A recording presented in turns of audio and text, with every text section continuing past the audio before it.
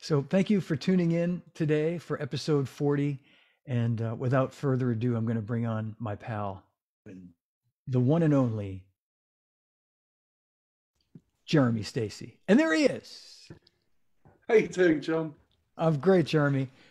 Were you, were you listening to my my uh, I was. I was. rambling? Yeah. Just okay. Making, making sure you didn't say anything, you know.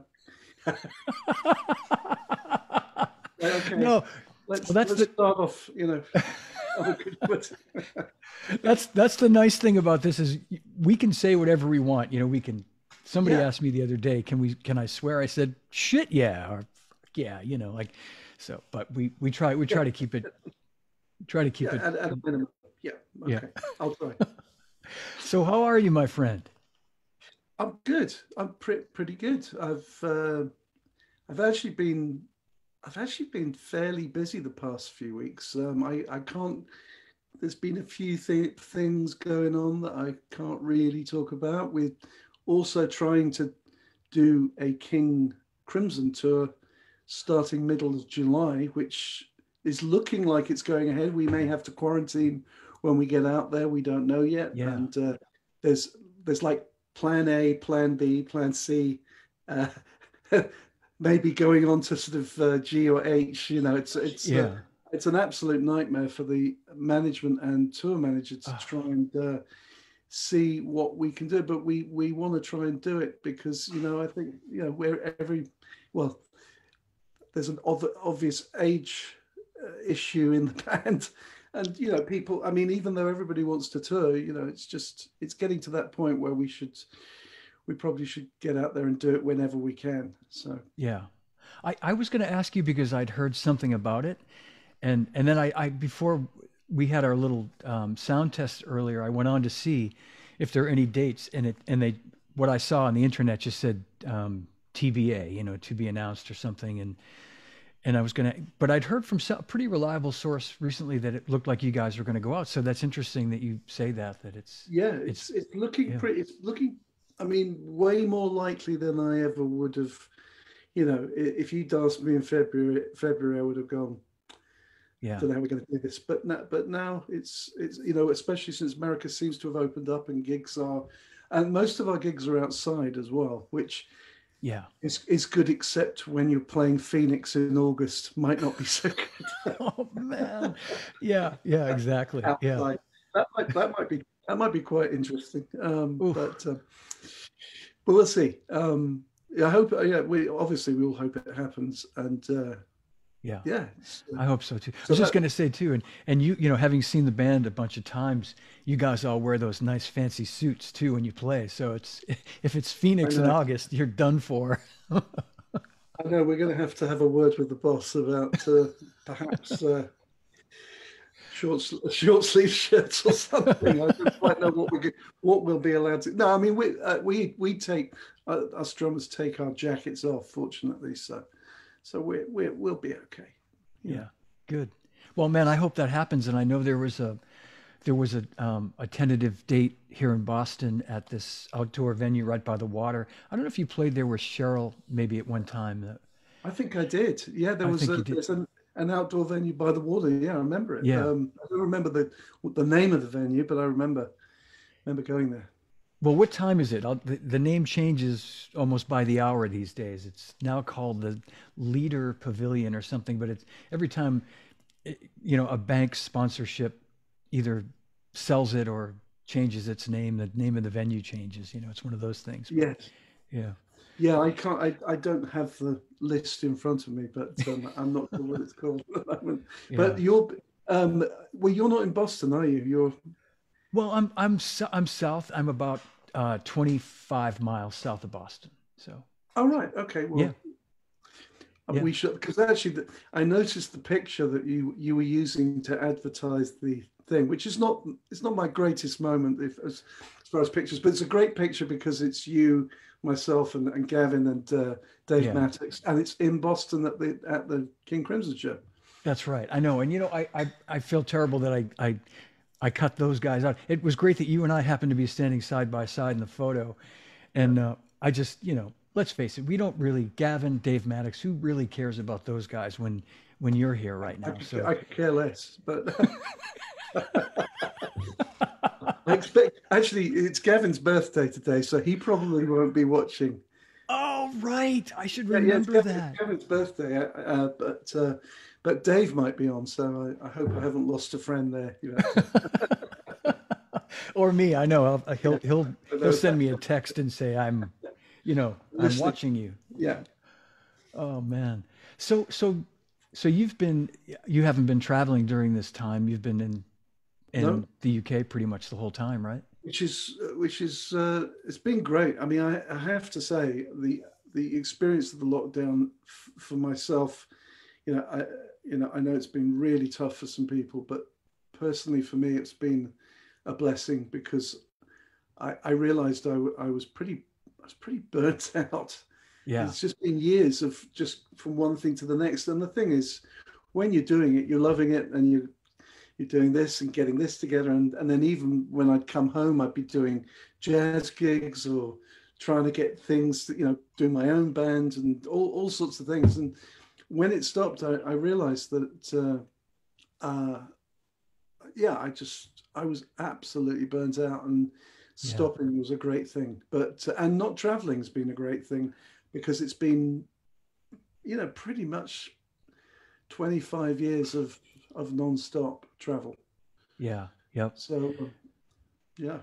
I, I, I was going to say, I'll bet you, you know, like it's the amount of time you would spend in Los Angeles. I, we, you know, I, I always found fascinating that, that, uh, you know, you know, I mean, it's, it's a, it's a huge recording industry still, you know, in terms of an industry, but, uh, for someone who's based in the UK, I, I, I think it's great that you would, you know, and you, whenever we would talk about it, I'd see pictures of you at Pro Drum Shop or something, and and uh, and you never. It, it was like, it the the distance from London to LA, which is about a, I don't know, about a twelve hour flight. It never seemed to phase you to just travel that far for work. And uh, and I, I, what I'm getting at is, I'll, I'll bet it was a situation where you're like on adrenaline the whole time, and then when you finally get to get home and stop, that's when you like collapse, right? You just go, Absolutely. Yeah, Yes, no, it was it was like that, and and and I think part of the reason, you know, I I had a, I was in a band in the early '90s, and we we came out um, to have a a, a a mix a producer mixer. The guy uh, the a guy's name was is is Jack Joseph Puig, who um, did the Jellyfish records. yeah, yeah. Okay, I- this is why I've had this connection with Jellyfish because I was in this band called the Lemon Trees, which was my move away from you know from my jazz roots because everything up to that point till the age of 27 had been jazz or fusion or Mm.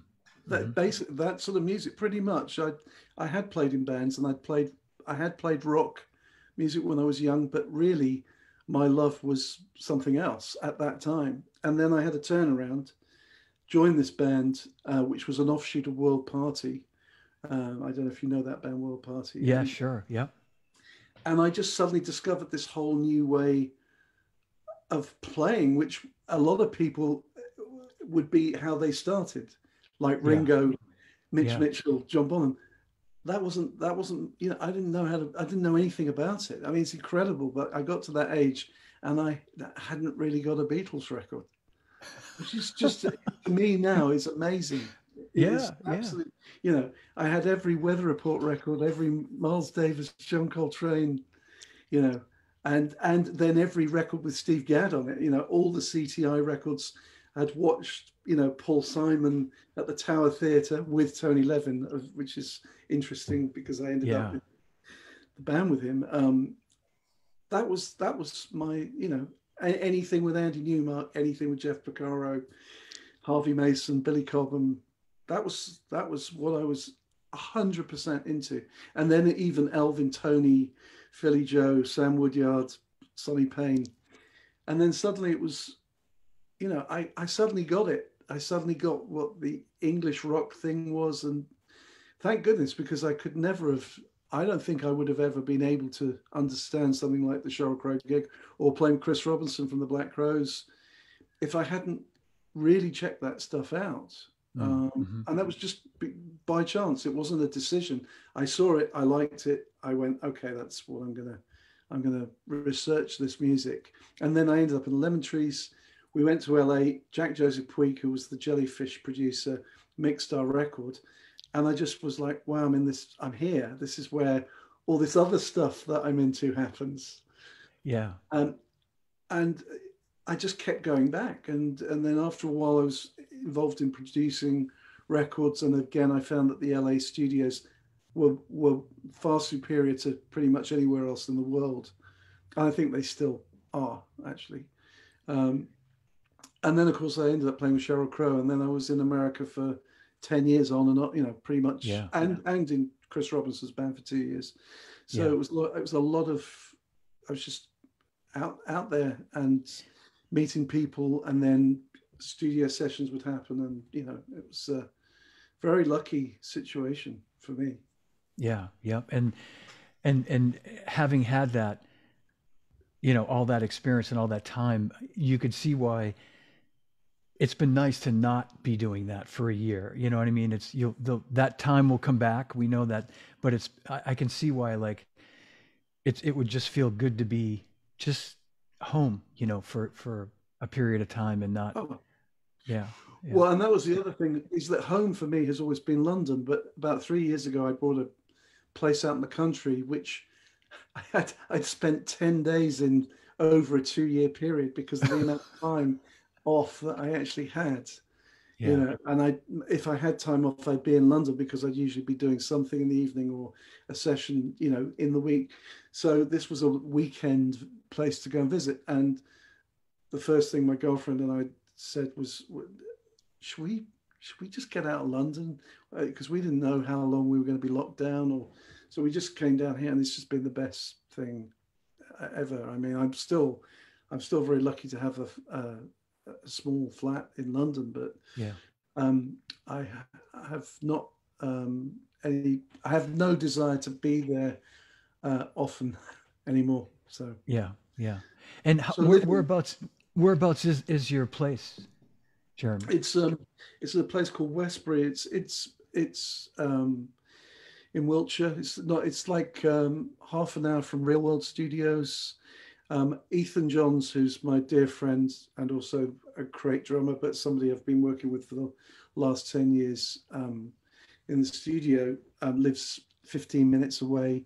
Um, uh, Dave Smith, the drummer, lives, and Jason Rebello, my dear friend, the yeah. piano player, lives half an hour away. Um, uh, so it's it, there's a whole music, and in fact, Gary Husband was living down here for a while, but I think he's oh. I think he's up back in London. But uh, yeah, there's a it, there's a whole scene down here as well, and it's near Bristol, so there's that there's a whole scene there. That's oh, that's great. Yeah, yeah, so it's great, and um, it's just it's just a more peaceful, you know, yeah. Live it, you know, just living a normal life, and it's it's a it's a bit of a novelty, but I love it. I love it. You know. So yeah, that's great. I mean, that's that's what you, you know, that's what you work for, right? I mean, you as you say, you still have a, a flat in London, so you've got a place if you if you're working all day and you need to stay, you know, you can't come yeah. back that night or something, and yeah, which is great. Yeah, and it's again, yeah. I mean, how um, you know, it's a very lucky position to be in. Um, but uh, yeah, that's it's worked out very well having this place down here. So I just, I just want to quickly read a comment from just looking at some of the comments that are floating in here from Bill Fleming, who said, uh, the recent Scott McKeon with Jeremy is burning. Many. That's been a really fun record to do. We did well. We did some. Scott McKeon actually plays um, he plays guitar with Tom Jones live, but he's a phenomenal blues funky yeah. guitar player, and we just ended up doing. We met a few years back and ended up doing a few gigs and it was great, went really well.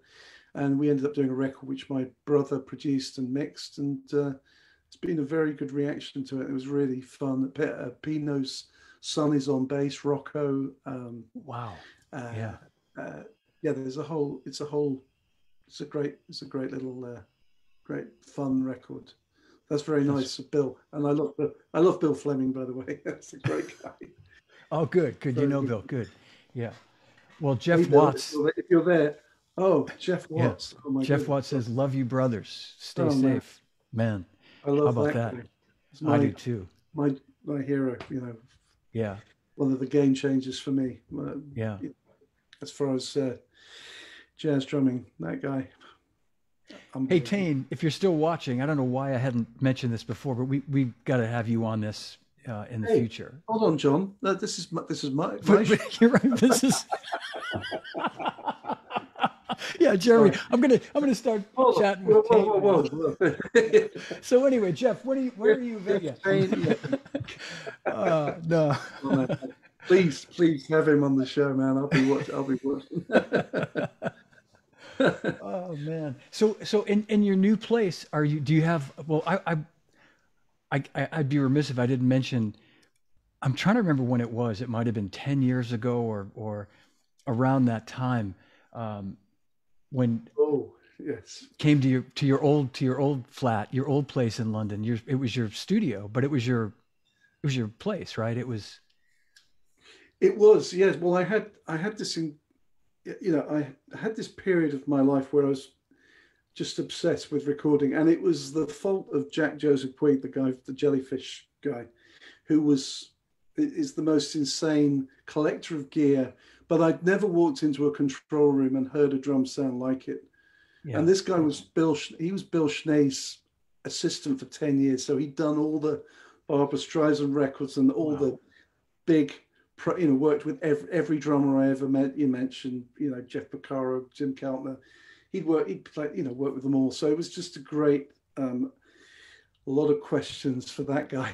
yeah, and- yeah. Watching him work, and then my brother and I just got obsessed with the whole recording thing, and I ended up having studios. And I the the one where we met was next to the 606 Jazz Club Yes.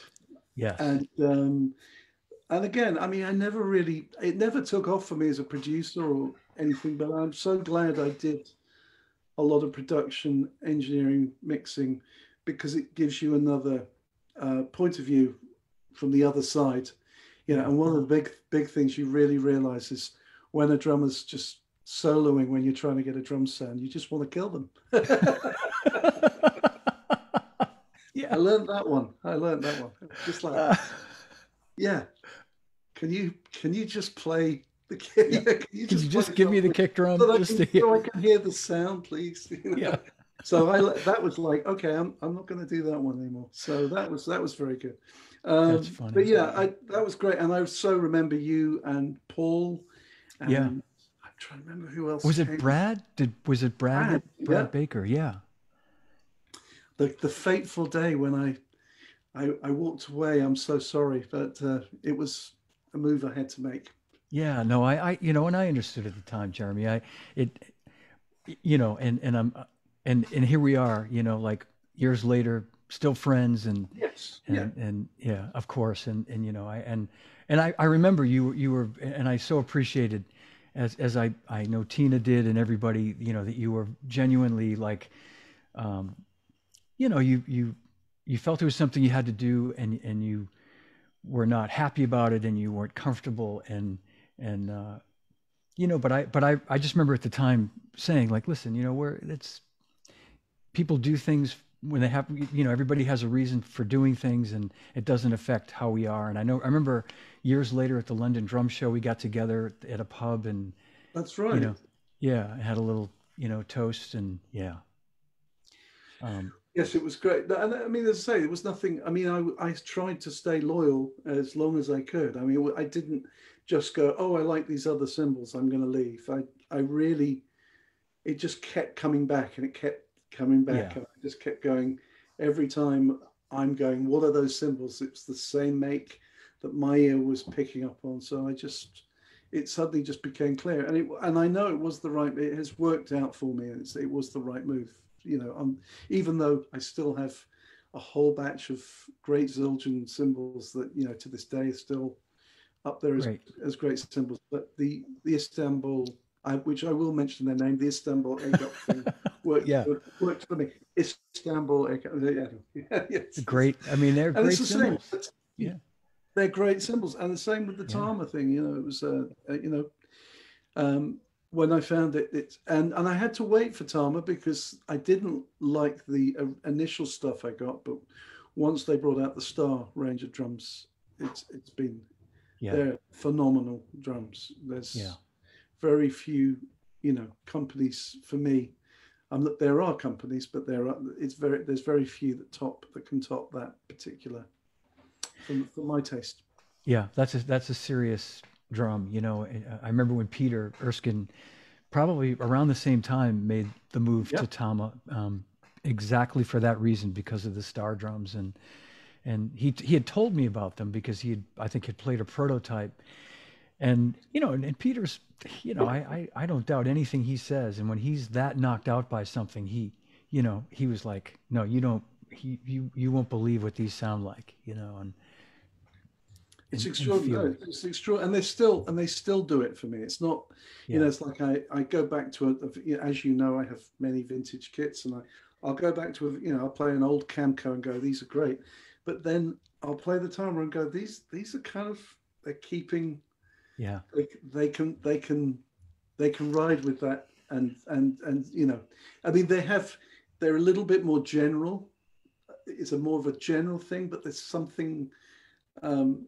something about it that i i've, I've almost found that i'm using tama in the studio more than the vintage drums for the first time because i found a way with the tuning that i it, you know i dare dare i say that i found my sound. It's not I wouldn't go that far because I'm always changing my mind and changing it for the music, but there's definitely something going on for me at the moment with them as far as That's great. Yeah, that's great. No, it's a great thing after Yeah. being so, you know, all over the Yeah.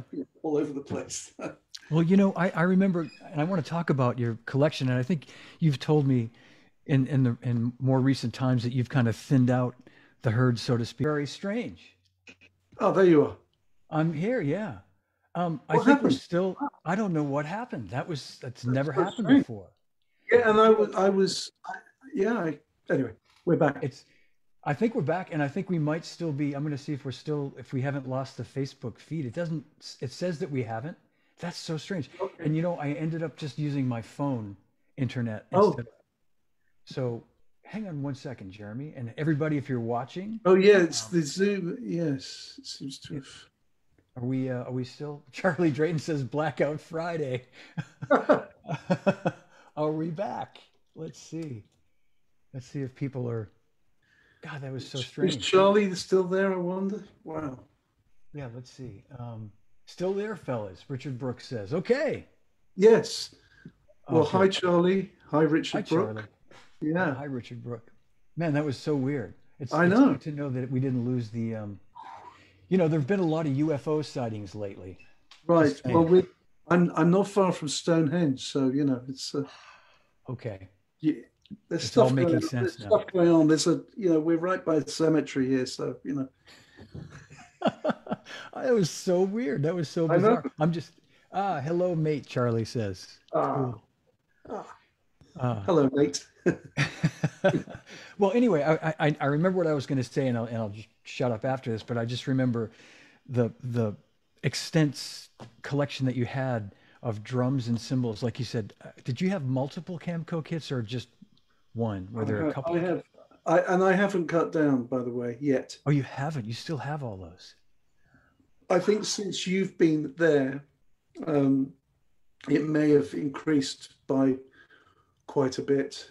It, it went. I, I went through a period of, yeah. This, it's difficult to it's difficult to explain. Um, apart from you know, unless you want to use the word hoarding or. Uh, um, You don't have to explain to me, Jeremy. You know who you're talking insatiable, to. ins- yeah, insatiable appetite. It's um, I it's it's not about just having one Gretsch. It's about having a certain, you know, it's like when I see a white Gretsch, I see, you know, I I think of Lenny White, or I think of, you know, um, I see the yellow Gretsch. I think, you know, and it's it's very difficult to see one kit as a, you know, it's like I could have one Gretsch kit, but it's very Yeah. difficult because they all bring a, a different and it, and it's weird you you set up that kit i can't play like any any anybody but uh, it's um it has it has an influence on the way that I I play.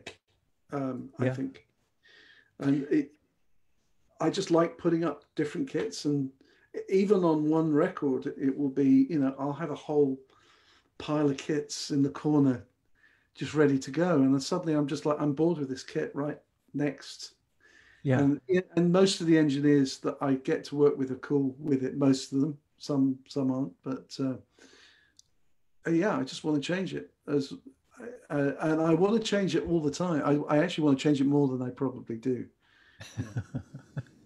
It's fun. Well, let me. So when you when you get called to do a session, do you?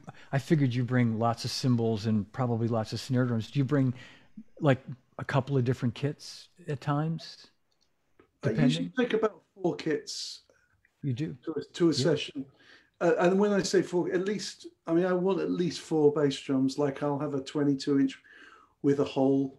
And it's interesting you were talking about the hole situation because I I've got a theory about that actually, which is see what you think. Sorry to just start No, off. but I, I, I want to hear this. jump in. And you talk, Yeah, no, this is great. the sound of the 70s back in the day, if you think about it, and even late 60s, you know, with Ringo, was a single-headed bass drum with dampening in it. Yes. You see pictures of Steve, Steve's first kit, that Gretsch kit with the pearl fiberglass toms, that was a single-headed Gretsch bass drum. He didn't have a front head. Yeah. That, and that was that was I'm talking about Steve Gadd here. Sorry, I do use the first name like he's I know him well, but it, You but- do know him. Yeah, but no, I know, but it's just um, anyway. So Steve Gadd was using the the single-headed bass drum, and that that has a, obviously this great sound. But I think then when people were asked to use logos, they still wanted that sound. So if you have the big hole in the middle and dampen it, it's like having a single-headed bass drum because the Right. air's got loads of room to come out and there's no tone from the front head if it's if it's dampened. You see, you actually see like Jeff Porcaro with his the hole so big that it's actually cutting Yeah. through the logo. You can see it's a pearl, but half the the bottom of it's cut because he's obviously concerned more with the sound than than the logo. But he's doing the job of showing the logo for the for the company.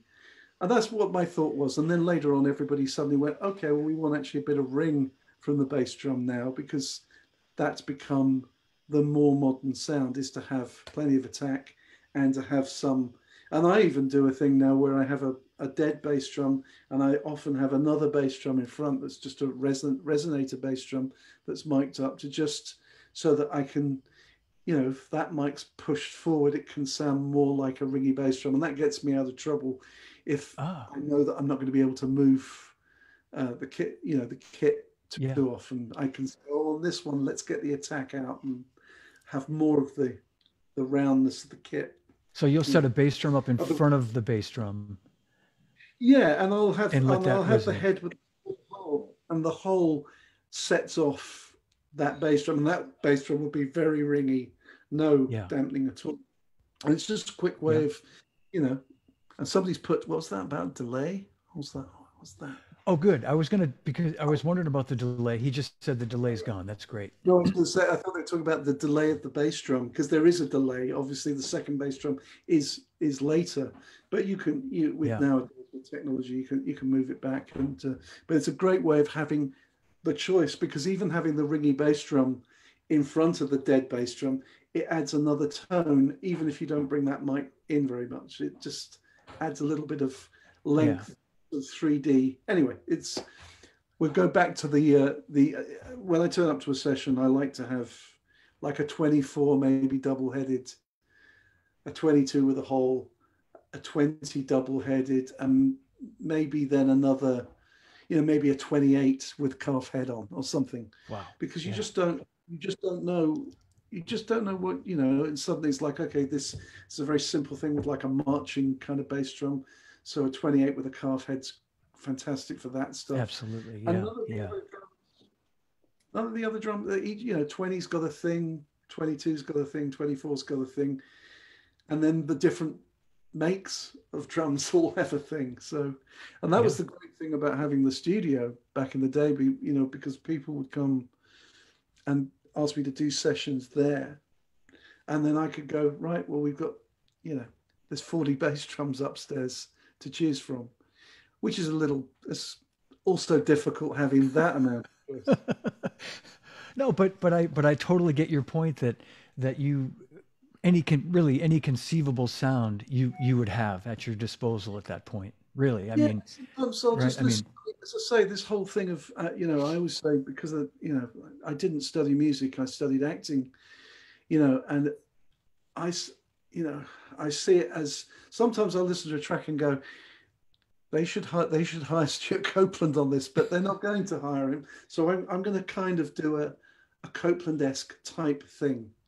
In the, you know in the back of my mind, I might think that if I haven't got you know a, an idea of my own, I might just think mm-hmm. something.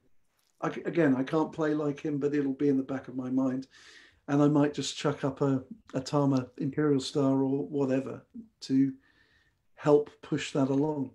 Yeah. And yep. whether that's right or wrong, that's what I do. And I steal from the, the best. And I can't, as I say, you can't steal. You can't be anything other than yourself.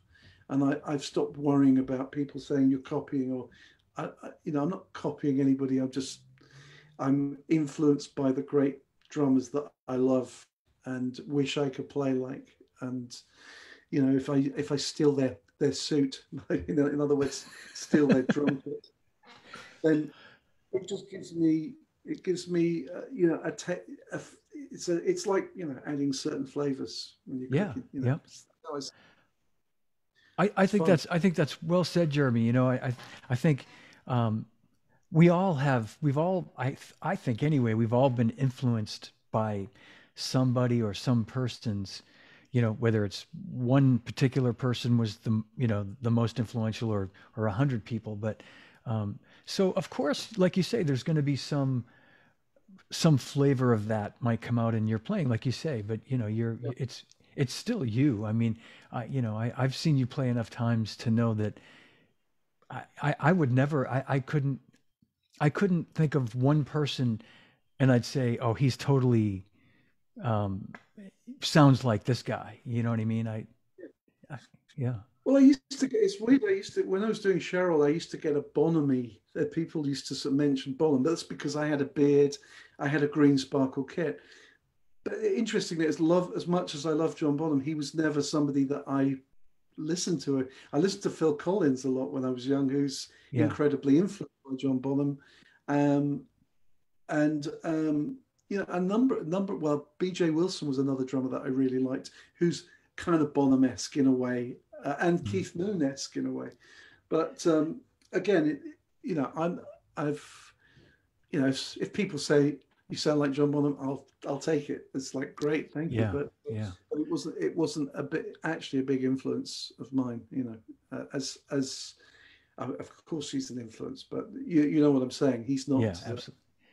At the forefront. It, it's not yeah they someone like you say they might they, they they see the beard they see the green sparkle drum set and they go oh okay you know yeah yeah but and then the bowl hat of course which i was made to wear by you know when i was with noel gallagher he made me wear the bowler hat and then and then that stuck with uh, king crimson basically the only reason i wear the bowler hat is because robert thinks i'm the scruffiest looking bastard on the planet he said, I hear you wear a bowler hat. And I went, Yeah, I have done. He, I put it on. He went, That's, that's it. That's it. Thank you.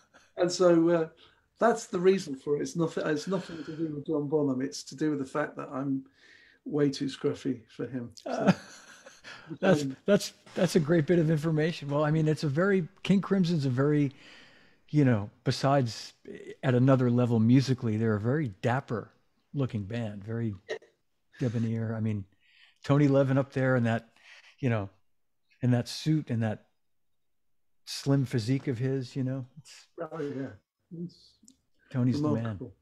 the man. Yeah, yeah, he's the man. So, I, but I want to just go back to your your collection for a second because, you know, at the this top, would happen. I know, I know. I just don't. I don't want to move on too far too fast because I I have other questions, but okay. I, I just want to tell you that that um, Man, we back. We're back. Are you, are you still on your phone? I went back to it. I tried to use the. It said that the internet connection in my house was restored, so I I clicked on it because it's usually very good, but it just went crazy again. So I'm back on my phone now, and, and I'm going to Oh, ask wow. my wife to pay the internet bill. Enough of this Yeah. messing around with these guys. So, uh, so um, is this the fir- am I the first guy to have fallen off three times? Is this? Yes. Is this am I, Yes. so I, I am a disaster. I, I knew No, it. you're I, not. I. Jeremy, I think you can say, we can both say, Okay. Jeremy Stacey has broken the internet. Okay. live from my drum room. That's a great honor. I've got a broken the record. It's a rec- I've broken the record uh, at least. so anyway, what I was going to say Yeah. is, and, and maybe it's the cymbal gods that are stopping us, me from saying this. Is at the Zildjian time, gods are st- going. Let's get him. it's it's it's Armin Zildjian reaching down from heaven, grabbing me by the throat. Um, so at, at the time Okay.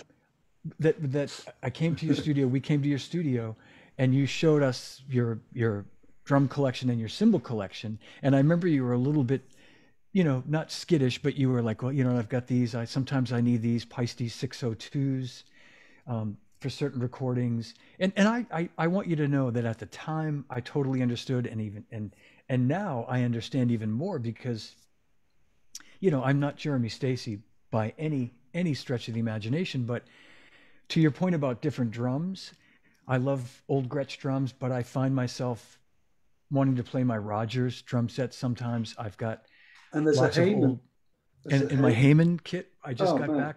Yeah, and, and it's in beautiful shape, and it really is a great sounding kit. It's Amazing drums. Amazing drums. yeah, Yeah. really great drums. And I've I play some non Zildjian cymbals. I you know I know that kind of shocks people, and some you know it. I think it.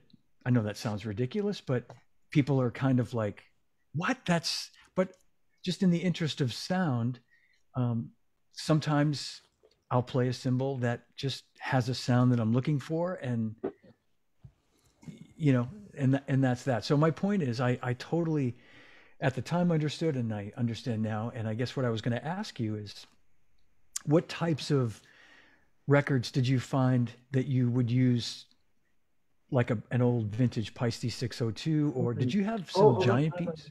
Sorry. understand now. At, Sorry, something came on. I just had to. no, that's okay. Yeah. Yeah, I was just curious, like what what types of records you, you'd use some of those old vintage, whether they were Paistes or old Ks or or uh, even old A's, you know, vintage cymbals that like Well, again, it's this is what's strange about my whole thing up till the last few years is that, for instance, when I started working with Ethan, um, and that was actually when that was when I started to really have the problem. Was I, I did the record?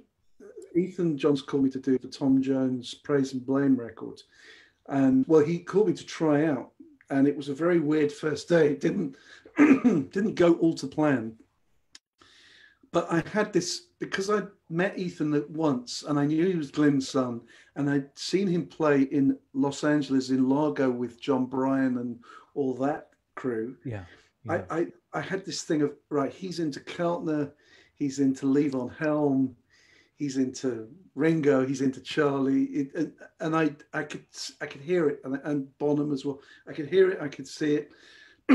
so when he called me, I thought he's not going to want, uh, you know, I, I, this not to be taken. Modern, I'm not going to Yeah. turn up with a Yamaha kit, you know, with you know stacked cymbals and a hi hat over here, um, Yeah. and, and three splashes or whatever. I'm going to turn up with a couple of cymbals, and they're going to be old, you know, K's, and uh, you know, and, and I had an old Slingerland uh, student kit which looks like the Levon Helm kit, which I walked in with, and a, a Gretsch round badge, and immediately it was like, oh wow, I love the drums, and it's immediately you're helping you're helping your cause by being you, you know you know what i'm saying just I totally do. you're walking yeah. with the yeah. right the right stuff and we did the record started the record and everybody's going what are those cymbals i said well this is an old k this is uh, old a oh i'm using there's a Paiste 602 here but mainly it was old k's and stuff and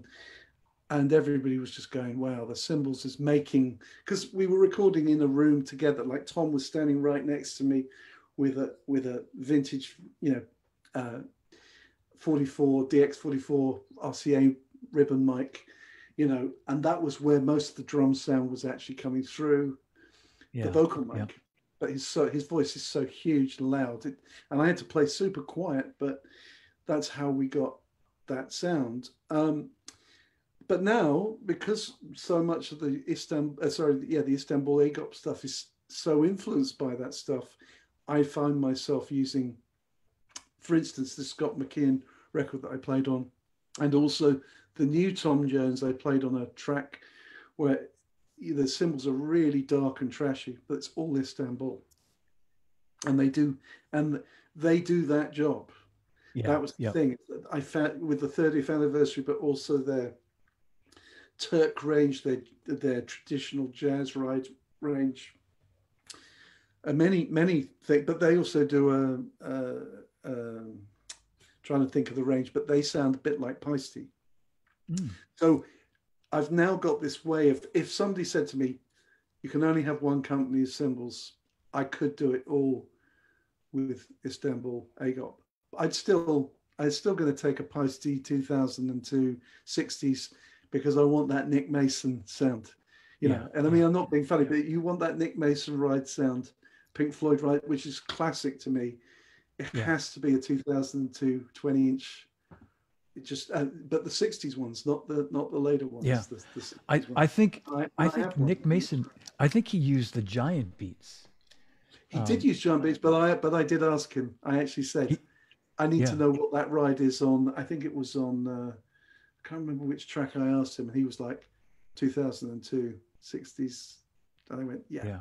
It's, I, I, you can tell as soon as you play. It's, it's, it's, it's such a, and it's not, it's not Formula 602. But then you get, you see, you get Bill Bruford, and it's Formula 602 and you yeah, can I, I mean i'm at the point where i can I, I feel like i i mean i'm at the point sometimes where i feel like i can hear maybe what the mic pre's are being used. Like, is it Neve? Is it API? Because it has wow. a different speed. Has a different speed. You know, because I had a studio and I had Neve and API mic preamps, and you, I, I sat and messed around a lot and just, you can hear the speed, the, the speed of the way the mic preamp reacts, and the and the microphones. You know, like tube mics versus um, uh, solid state and you know all, all that all the differences you can you can start you start to hear a a difference with speed. It's all it's kind of speed's one of the things. Yeah.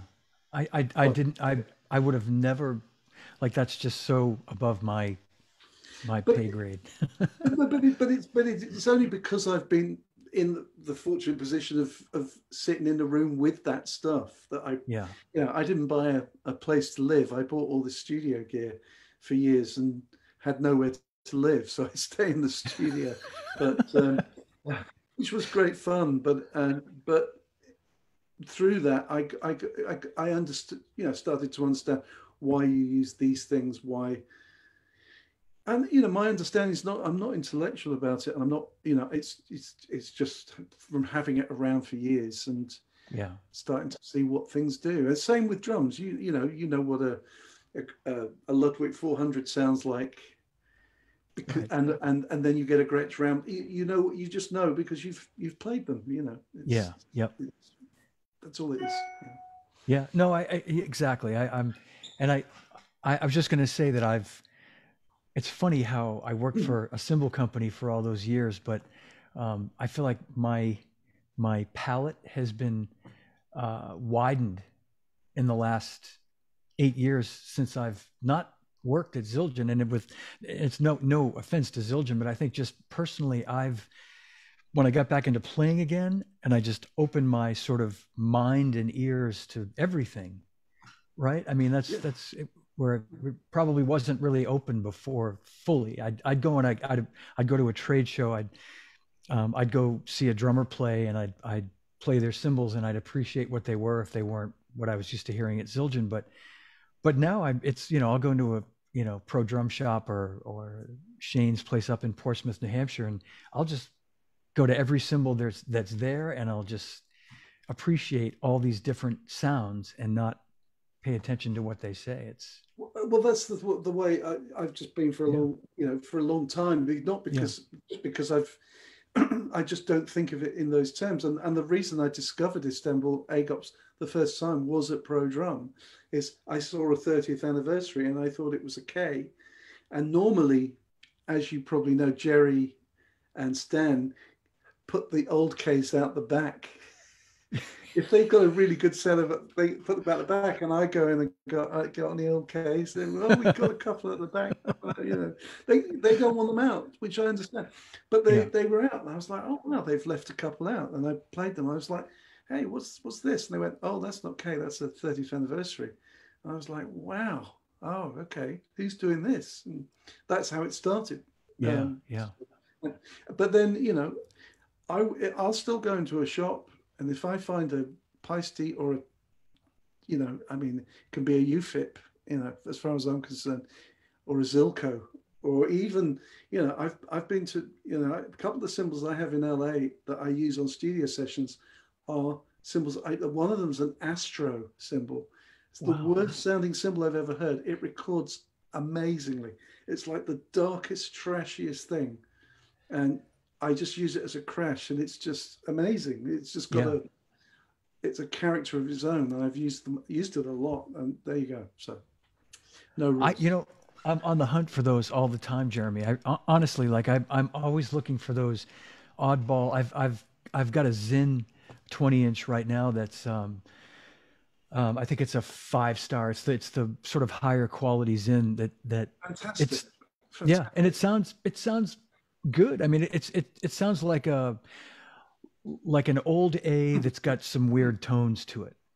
Um, They're very like old A. In fact, yeah, when I was doing a studio session in LA, um, Ryan Adams, um, I did. He had a kit in his studio and I was playing his hats and I was like, man, what are these hats? They're amazing. You know, tried to buy them off him, wasn't interested.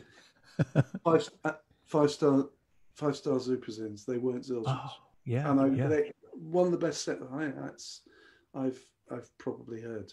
Yeah. Really thin, probably right. Really light, recorded Quite well. Thin, but you know, that's another thing I've got about cymbals, which um, you know, I have a set of Ks um, that are the closest I've ever heard to Steve Gadd's that I happened to buy in um, from a guy off e- on eBay. But I, I, I bought them from uh, what's that place uh, south of Boston? Um, uh, I can't think of the name of the place. It's a very famous place. Uh, in in Massachusetts, is it? Yeah. Um, not, uh, if you go south, if you were going heading back to New York. Um, anyway, so he turned up at the hotel room with this set of Ks, but I flipped them because I know that Steve played the heavy one on the top. And right. as soon as I heard it, I went, "This is the sound." And this, everybody, all the guys in London have heard this set of hi hats I've got, and they just ask, "Where did you get them?" And I, it was just lucky. And Paul, um, at Zildjian found found had Steve's top hi hat, the one that he used, and it was two grams difference, but exactly the same period, and it was two grams difference. Mine's yeah. two grams heavier, and so.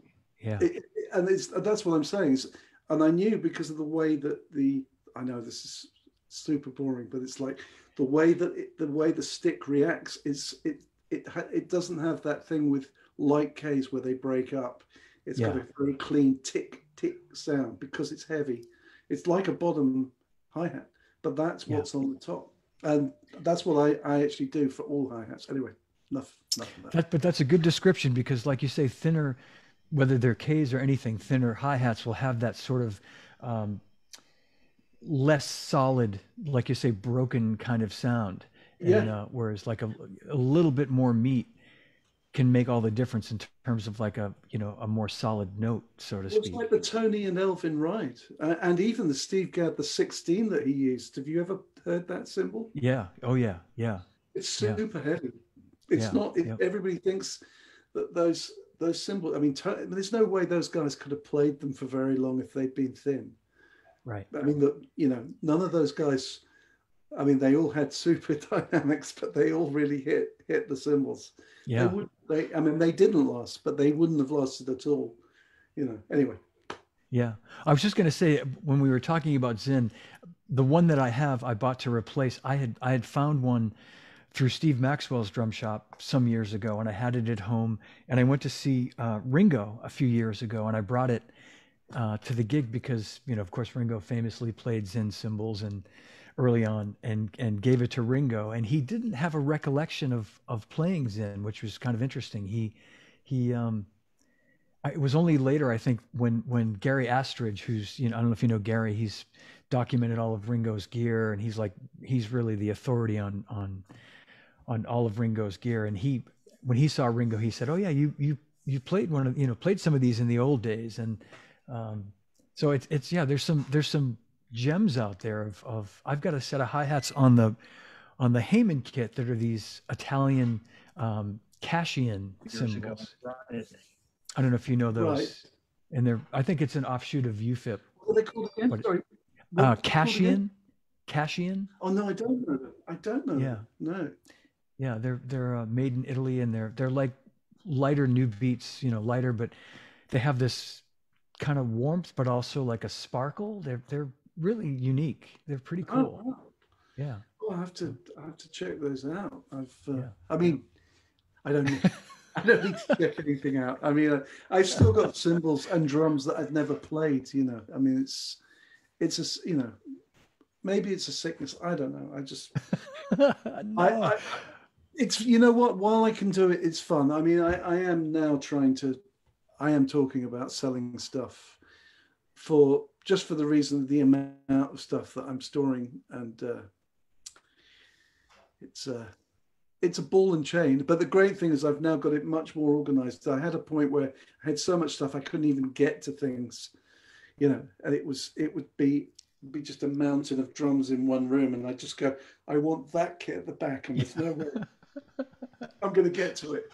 Yeah, yeah. Because I have a peacock flame as well. Because I know you got a peacock flame. Gretsch. I do, and I, I think I saw that peacock flame Man, kit.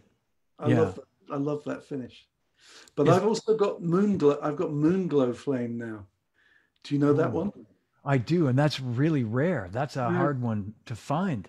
Well, I've been really lucky. I got I, it's two 20 inch, but I got two kits, two 20 inch bass drums, but I got the 12, 13, 14, 16.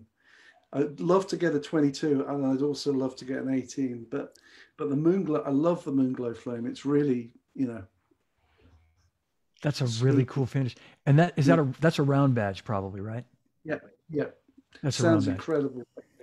Amazing sounding kit. Yeah, and the peacock is is stop sign probably right, like mine. Stop sign. Yeah, all my all yeah. my peacocks uh, is stop sign. Even though I did see I did see an actual original peacock round badge once in a place. It was uh, Rupp's Drums in in Denver years ago, and I almost I thought about it, and then I was just like, no, this is uh, crazy. Yeah, that's that's a rare bird because yeah. um, as we learn more about the badges, you know, by the time they got to the the um, a lot of that stuff wasn't done during the stops during the round badge period. It was done in the stop sign badge period.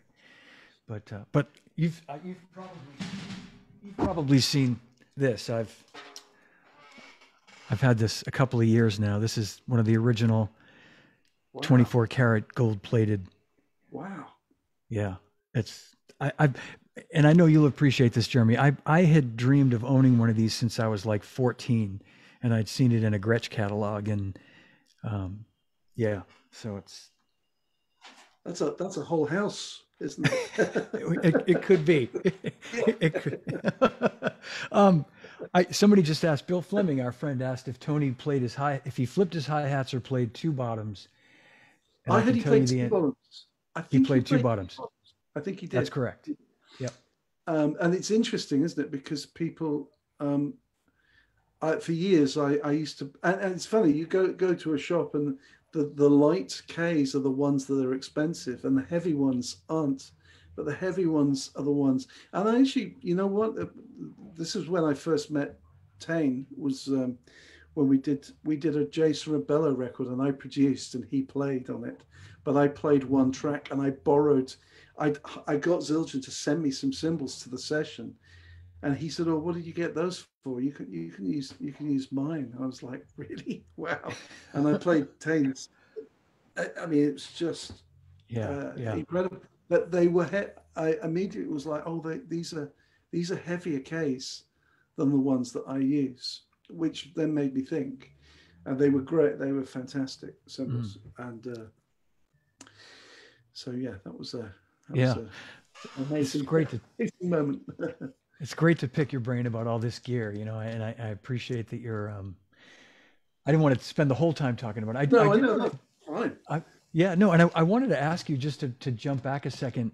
Um, I don't want to miss any miss any of these questions or comments. Some some some great comments here. Um, playing with King Crimson, and I, I, said it like when I before I introduced you that I that I, um, you know, I wouldn't have I, I wouldn't have pegged you as as a um, you know as a guy that would come in as as the drummer for as a drummer for King Crimson, but you but you fit perfectly and and knowing more about your background because I I thought of you really more as like a a rock pop, you know, Sheryl's drummer for all those years and and you know those rock records and rock bands you played in, but you obviously you you feel really comfortable in that role and and you're playing a lot of keyboards too in King Crimson. Yeah.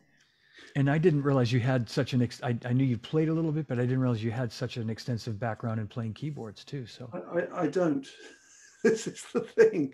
Um, I, I, I mean, the, I did study piano for a couple of years when I was young, when I was six, uh, and yeah. then I, I just messed around with it, and I did play play keyboards in a couple of bands when I was young, and that was it.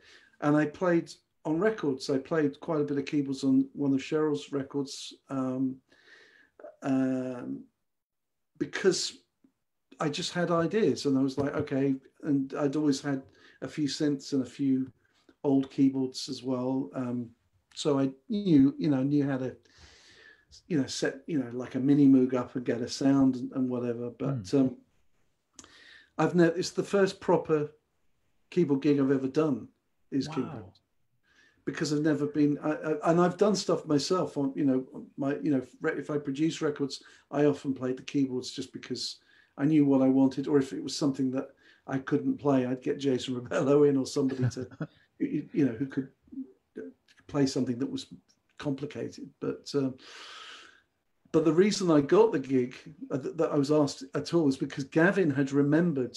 I met Gavin when I was 17 or 18 because I'd bizarrely I was, I was I was quite ill as a child and I used to transcribe piano things when I was young.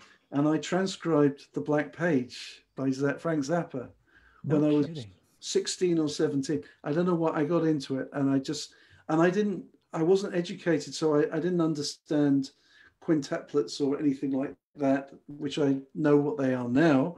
But um, i'd go well there's 20 notes in a bar of 4-4 so that's that's got to be five five groups of four you know so yeah.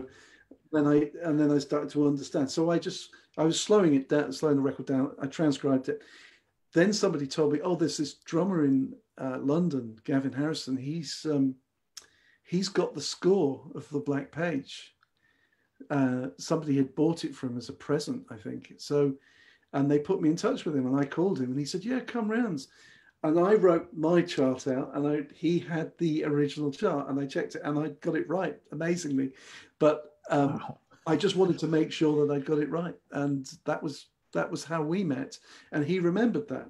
And um, because I always said to, I mean, I said to Gavin when he, I said, "Why do you get Gary Husband?" I mean, that guy, like, he's the he's one of the best drummers and best you know keyboard oh. players you could ever you know and I, I, I, was very lucky to grow up and you know go to the 606 and hang with gary many nights yeah. and even get to play with him and you know i mean that guy's on another on another level but that, yeah, I was surprised to get called to do the gig. But then the keyboards were very simple. That Bill Rieflin, uh, my late dear friend Bill Rieflin, yeah. um, who uh, it was just he was just playing the pads and the very simple parts, and a lot of the keyboard parts were missing from King Crimson. And then uh, when I got the gig, I learnt those parts, and uh, Robert caught me playing piano in a dressing room. There was a dressing room which had an acoustic piano, and I was just messing around. I was playing, I don't know, I was playing some Bill Evans thing that I transcribed years ago, and I was just trying to remember it. And, and he came and said, "What's that?" I went, "Oh, I'm just messing around with this Bill Evans thing that I used to." And he went, "Play something like that tonight between this song and that song on your own." I was like, "Okay." Wow. Okay and suddenly, you know, this is the thing. Here I am playing a solo piano thing in front of three and a half thousand people, or however many it was, out the blue, and um, and then it, it became a fixture. Do it every night. Do an improvisation every night. So I started doing improvisations, pro, you know, trying to really not learn, prepare anything, and just jump in and see what happened. And then he said, "Oh, great! Well, you can play all this other stuff that we don't play anymore." um, because we've never had a piano player in the band. Now I'm playing all this stuff. Yeah. Uh, so the gig was like 20% keyboards, 80% drums, and now it's 50 50, you know. So that's what happened. Yeah. I mean, it's, but it's probably pretty refreshing, right? I mean, it's, it's, yeah. Oh, yeah. I mean, to, to be, to, yeah. And so, so I mean, do you, oh, sorry, go ahead. No, to say, yeah, no, it's it's a great thing to be doing. It's Matt. I mean, sometimes I just can't believe it, and sometimes I have, you know, I've had a couple of freeze moments where I, it's suddenly I'm aware that I'm doing this crazy thing, because you're not really aware of an audience when you work. You know, when you're doing the gig, you're just yeah, you're just concentrating on doing the gig. But um, yeah, I just uh, have the odd. I've had the odd moment where I've just gone. I'm playing piano in front of all these people. like, I and then I, can, I look and I just go, I don't even know what this thing is in front of me. You know, it's just complete yeah. freeze, freak out. But uh, it's only happened a couple of times, thank goodness. But uh, and you're playing piano oh. in King Crimson too. It's not. It's not like it's, uh, you know, a, a, bunch of mates at the pub. It's like you know, it's like a really. It, it's interesting though because of my jazz background, which you know was the thing. I mean, as I say, it's so, it's so funny. I remember when I was a jazz if if I ever was a jazz player, um, that I remember a quite famous rock drummer who I won't mention had said to somebody, "Oh yeah, Jeremy's a good jazz drummer, but he he's he's you can tell he's never played rock. You know, he can't play rock and roll at all." And yet, most people's perception of me is as a, as a rock drummer, yeah, which is just which is just a funny thing because that's what I think I became a little bit more known when I started playing with Sheryl and the rest of it and that. So my earlier years, which was all jazz, no hardly any rock at all, um, has just gone. But it's that's what I think enabled me to do the King Crimson gig. And what's interesting, the King Crimson gig is not like a jazz gig because what I always say is it's like a classical gig. You learn the parts, and that's it. There's no improvise. Well, very very minimal improvising and i think that that's the difficult thing i mean that's the thing about jazz is when you're playing an odd time signature in jazz you're not playing a pattern you're playing in 7 8 or you're playing in 15 16 or whatever it is and you understand and then everybody else in the band is also improvising so you've got to know what 15 16 feels like you can't just have your pattern that you stick with and hope for, and hang on for dear life and and that's the difference is with with King Crimson. It's not an improvised. In my experience, so far, it has. It's not. It's it's it's. You know, you learn it and you do it. So, as difficult as it might sound, it, I don't think it is as difficult as playing, maybe let's say, a jazz thing where you're, you know, when I'm playing with Jason and he's dissecting the beat in a certain way, and I might not even understand. You know, he'll suddenly do something and I don't know what it is, and you've just got to uh, react, but also sort of know where you are. So it's, yeah, a, it's a different yeah. thing. So I think I was lucky I had that as a background because in a way that music is I think that music is harder. Yeah. Yeah. and and with is. with King Crimson, are you um do you spend I, I had two questions. Do you spend much time at home working on on playing keyboards or do you to keep it fresh do you just is it almost better to just you know, have your chops there, but just not go into it with any sort of too I have to learn, I have to learn stuff now because I'm actually now playing all my parts and Bill Rieflin's parts because I had to develop a whole. Uh, basically, I did all the other parts that weren't being played, and then mm. Bill was unable to do the last tour because he was too ill, and then um, and we were going to get somebody else in. We tried it and it didn't work. So I turned around to Robert and said, "Look, I think I can actually, if I use bass pedals, I." You know, most of it's one hand, and you know, my parts are one hand, Bill's parts are one hand I think I I can probably play both parts, and that's what I'm doing now. So wow. I'm playing both keyboard parts, and that you know most of it is covered, and yeah. it's just more like what a normal problem keyboard player would do, whereas um, before it was just very sort of simple.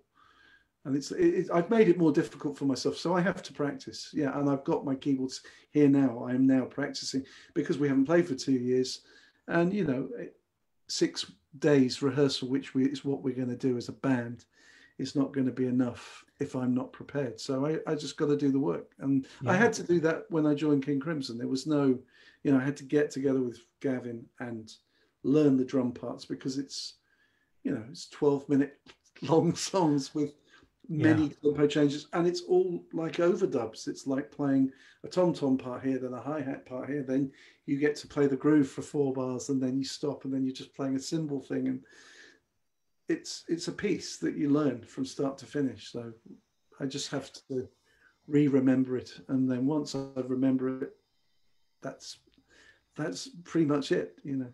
Yeah. So, so and that and that was my other question. So you you're you're you're learning these parts by memory. Um, you're not relying on on charts. You're not you're not, or you probably have some of it written out just as a reference, or or is it all just? I have everything. I wrote everything out to start with, or I had somebody help me write it all out because there was no way. The first rehearsal, I had to I had 23 tunes to play.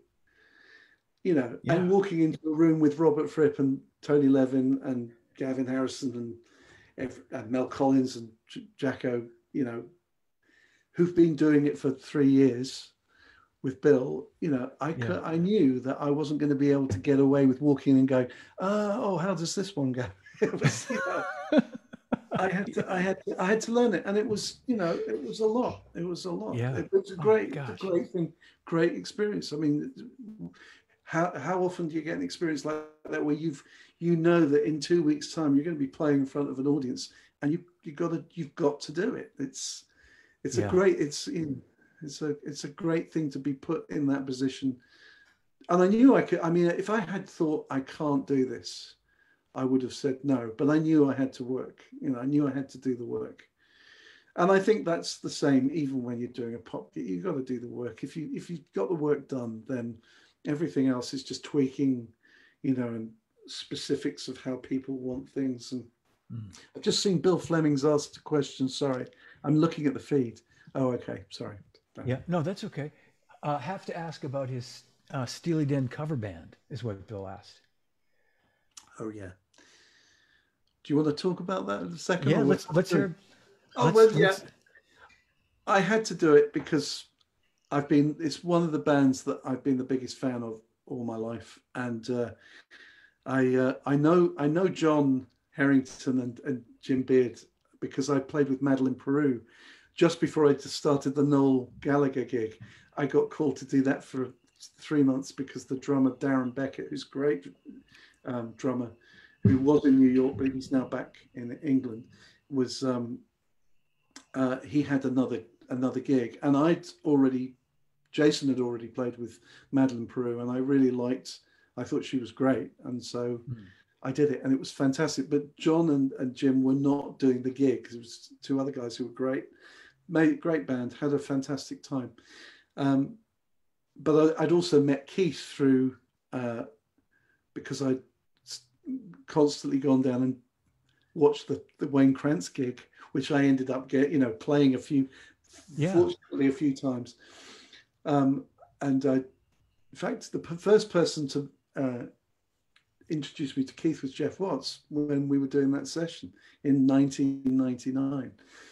And we, I went, so you've got to check this guy out, and uh, it was it was Keith. It was amazing. Yeah. So anyway, sorry, I'm darting off as usual. No, so, no, yeah, um, Keith. Yeah. I, when I, I know that Keith will never not do that gig, so I just went, well, if I'm never going to get to play with that band, I'm just going to do my own thing. And and it was in the back of my mind. I never thought about it too. You know, I thought about it a lot, but I never got it together. And finally, I was doing a gig with a friend of mine, and we happened to play a Steely Dan tune on the gig.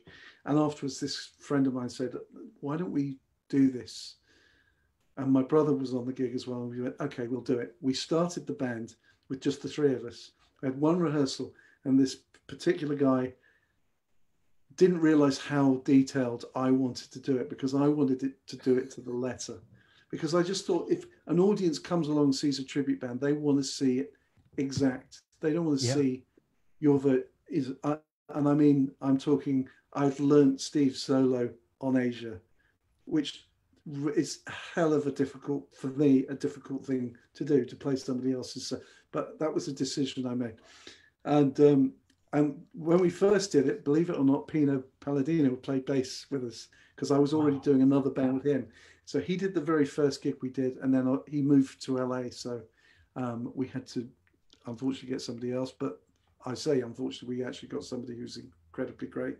So it, it's it's all fine. Everybody's cool, and we started doing it. It's a 14-piece band, and uh, it's one. It's up there as some of the best fun I've ever had because wow how can how can it how can it not be playing that those tunes I mean absolutely yeah. yeah and, that, that's what made me realize is that I've always sort of thought about the tribute thing in a certain way but actually what's what's better than playing your favorite music there is there, there isn't anything better actually yeah so exactly. um and and I think again, if you do the work and you you for me check out, you know, it's like I'm doing a rock band thing at the moment, and I had to play "Start Me Up" the other day, and what a, I mean, so difficult to copy Charlie. I mean, just. Yeah.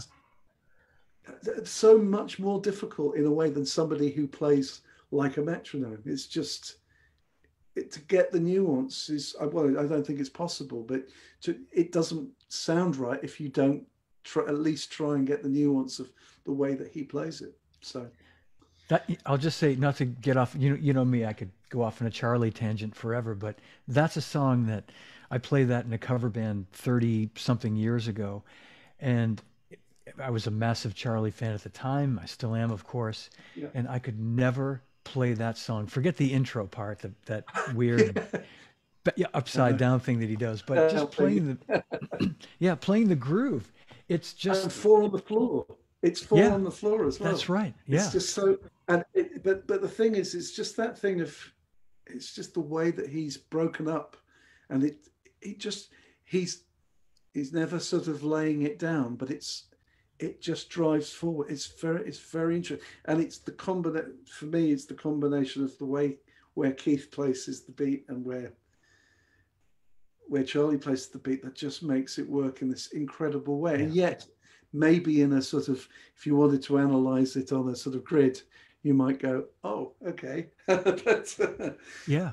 It's uh, just, which just proves to me that, you know, it's not all about that stuff. Playing perfectly, yeah. I mean, it's not, is I, something I was very interested in when I was younger, but I've, I've, lo- I've got less interest in this sort of perfect time thing. I, I just think all my favorite drummers have just got their own, you know, it, it, yeah, it's uh, yeah, personality yeah. is what I like. That's what I like. And and that that song is a great example of that too. That that interaction between Charlie and Keith, and yeah, if you put it on a grid, it's it's not going to be Jeff Porcaro. Well, you know, even Jeff Super. Porcaro. I mean, I'm not. People say about perfect time. If you, it's, you know, I mean, this might be sacrilege to say this, but if you, I mean, even if you listen to Rosanna, the the, the bit there's a bit that slows down, but yeah. it's perfect for the song. I mean, and he he yeah. he actually said in an interview that he hated playing with the click, and I I sort of know what he means. Is that there is something more. There's just some more more humanity without it for me because who's to say the click's right i mean the click is it's just this robot. You know, okay, play with Yeah. him. It can it can be great. I know a lot of people love playing with the click, and some people make it work perfectly. And I've had to do it for. I mean, I did it for years. But there's something also really great about not having it there and just seeing where it goes. And Yeah, yeah. Human. Our friend, our friend Andy Newmark, when you Oh. know, yeah, you only need to spend five. Uh, yeah, me too, me too. And boy, you, you get him started on, on the click, and he'll just, you know, I, I, I, I just love him to pieces, and that you know he'll, he'll. It's the worst fucking thing they ever invented, you know, and it- uh, enough Jobs- of this. Steve Jordan's been saying stuff about that as well recently. I've noticed. I saw an interview where he was going off about the perfect thing, and it's interesting because I Yeah. and I, I'm I'm I'm I, I think again it depends on the music. It really. De- I I'm not one. I, I don't want to get fixed and say it's this or it's that, but there is. You know, even in King Crimson, there's things. You know, with Bill who- Bruford, who I you know I absolutely love, where things just uh, like verses are like four bpm faster and because we don't do that it it actually doesn't it just the song feels different hmm it's in time sure but it doesn't quite have the emotional you know so we've actually incorporated some of those things where we go up a bit Yeah, and i think it improve i think it's better you know but uh, that's that's me that's my taste i mean i you know everybody's got to do their own thing and do it the way they want it but uh, yeah, yeah. Well, Jeremy, we're we're at. I. I I, apologize to you and to everybody for the the snags that we had technically today. That has never happened, and um, I don't know. But I'm glad we- let's hope it never happens again john Let's hope it never happens again. I think it was kind of made it made it fun and interesting. We didn't lose lose the connection, so we're we didn't lose the the uh, the Facebook connection anyway. But but I I, I want to thank you so much for doing this, and I know you've got shot number two coming up next week. Is that true? i have yeah, Yeah. i got shot number two coming up um so yeah that's all good which Good. means again i can you know as far as traveling uh mid july i'll be sort of a good month with you know six well five weeks i'll have had it so i think that's uh hopefully make any audiences feel say well we'll all have had it by then Yeah, yeah, So- yeah. That's good. And Adam Parsons. if uh, if you're around, we'll be great. It'd be great to see if we get if we do manage to get over and do this. at, Yeah. I, I would love to, and, and we'll I'll I'll stay in touch with you, and um, when I see if there's a date listed, I'll I'll reach out to you and Gavin and and Pat too. Pat's an old Pat Mastelotto's an old friend too from from when I worked at Simmons and great Pat. guy, great drummer. A yeah, Pat. Yeah. he's, he's so great. Yeah, I love. Pat. I don't. I Yeah. just don't know how he does what he does. It's unbelievable. He's unbelievable. He's he's something. yeah. well, this has been so great, Jeremy. I I I, I thank you so much for doing it. Um, I want to thank everybody for watching. Everybody, please give a big hand at home for Jeremy Stacey. oh, thank you. Well, honoured to be on here. Thank you, John. Oh, my Really pleasure. And Yeah, uh, no, it's it's you're you're the toppest of top chaps, as we say, as as our friend Dave Mattacks says. Oh well, thank you. Ah, All right. well, all right. Well, we'll sit tight. I'll I'll end the live stream and then we'll we'll say goodbye in our little uh, private Zoom room. But um, great. I'll wait. I'll, yeah, I'll wait. I'll wait here. all right, great. Thanks everyone for checking in. Great to see everyone. Speak speak to everyone. See everybody's comments. Thank you. Yeah, great. Thanks, Jeremy. Thanks, everybody. Um, see you soon. Definitely on June the eighth with Don Lombardi, but if um, maybe even before then, who knows? Who knows? All right. Over and out. Thanks, everybody.